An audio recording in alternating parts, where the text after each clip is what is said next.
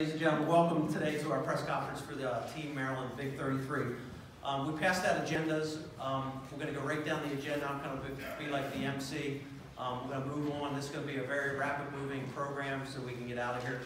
Um, First of all, I want to thank the Baltimore Ravens uh, for hosting this for us today. Um, The Baltimore Ravens have become an extreme and awesome partner for Team Maryland and the Big 33. They understand how important high school football is and how important this game is for our state. Um, Adam today, representative right here, Adam and Matt Little are two high school guys, and Nick Boyle, tight end for the Ravens, is going to speak today. Uh, took his day to come out and speak to you guys as well. Um, this is the 63rd edition of the Big 33 football game. It is a great football game. It's been classified as the Super Bowl of high school football.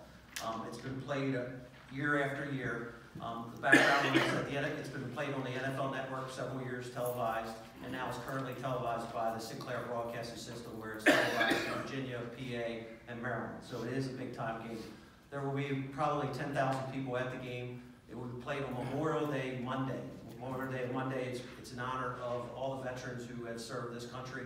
And today we have the Marine Corps here, who is one of our proud sponsors, and they'll get up and speak as well. This is a great honor to be selected to this team, and we'll get this rolling. First up speaking today will be our president of the Baltimore Touchdown Club, Doug Duvall.